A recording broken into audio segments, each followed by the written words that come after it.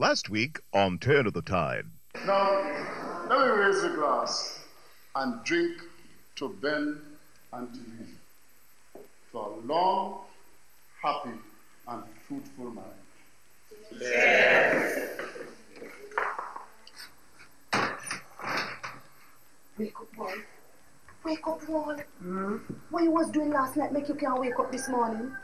Me ain't do nothing. I Mr. Ugly to you. Who he?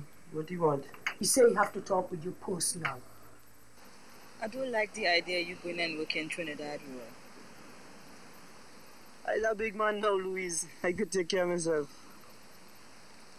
We told him girl in Trinidad. You go forget me, Roy. You think I could forget you, Louise? I see it happen all the time. You're going to meet some other girl and you go forget about me. You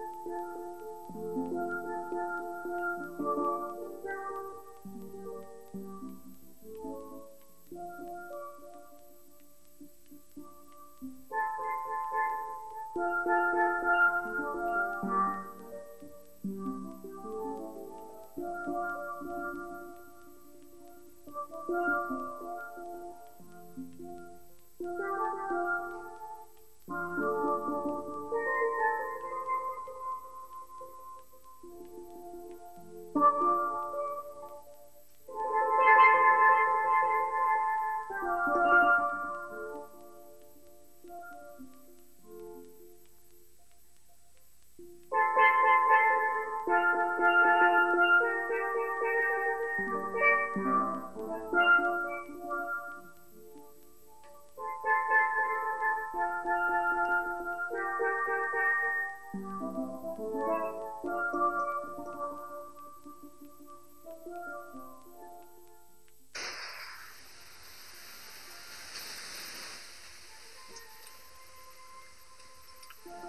what I heard some people saying last night? Some stupidness now. They say, all I lose the donkey really last week. I was so big about Harold and he donkey. The amount of meat that was in Teresa wedding, the feel of cooked piece of. I know what some stupidness you hear, so people feel me give them jackass meat to eat. It's only why here. So you tell them it's a big bull I kill? Me never bother for answer them. I hear all going Trinidad. Somebody come in the wedding and hear him sing and give him walk singing in Trinidad. We learn for sing, say singing for people. Here learn that. Singing is a walker gift. When I was young, I used to sing plenty. I remember a time I let go my baritone, full blast in the tail. Everybody in church stopped singing and watch me. And when the service finished, the priest said, With you, brother Joshua, we don't need no organ. Power in the lungs. It's me who I'll take after. I see you and Glenda leave the wedding, hug up tight, tight. And like she was tipsy, you must be advantage here. Man could take advantage of woman. So where are the body children? Them children had a right to be sleeping them hours there. So how it was? And Glenda have some good flesh there. Me is one man. Doesn't talk me business in them kind of thing. I leave in that for your imagination. And I see she sister live with tiny brother. And like things sweeten him. And see like he's still here. You hear what Sparrow say about them Tobago girl? All them Tobago girl. sweet, sweet, sweet like a Well, kezaba. look, life is to enjoy till you can't make again. Mm. Then it's time to dead. Huh. Mm-hmm. We leave for Trinidad on Friday. You have to meet me at the airport at 8 o'clock. The meeting starts at 1 both Friday and Saturday. I think we can pick up a few medals once you have the will to win.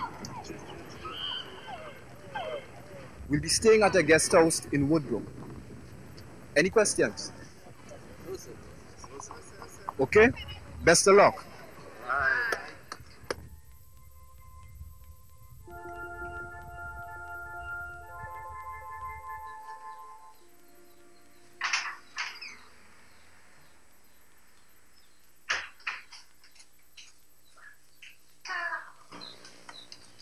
Stubby was good today. Like you're having a good time. I'm trying to. When you're going back home? In a few days. What you tell Betty? I told her it's been in a few days. I don't like what you're doing, Charlie. What don't you like? You know damn well it's because of Nora that you're still here. And I can't encourage you in your dirty, worthless living. You is a married man with two little picnic and running around the place with Glenda knockabout worthless sister. You was never a man like that. Sure you tell your wife one set a lie why you have to stay in Tobago. I bet it's Joshua encourage you in that. I'm a big man, Tiny. Nobody has to encourage me in anything. You can't leave your family and go running behind Nora and I go sit down quiet. I'm not going to discuss my private life with you, Tiny. And I'm not going to encourage any slackness in this house. If you want to run your sinful life, go and run it somewhere else, not in this house.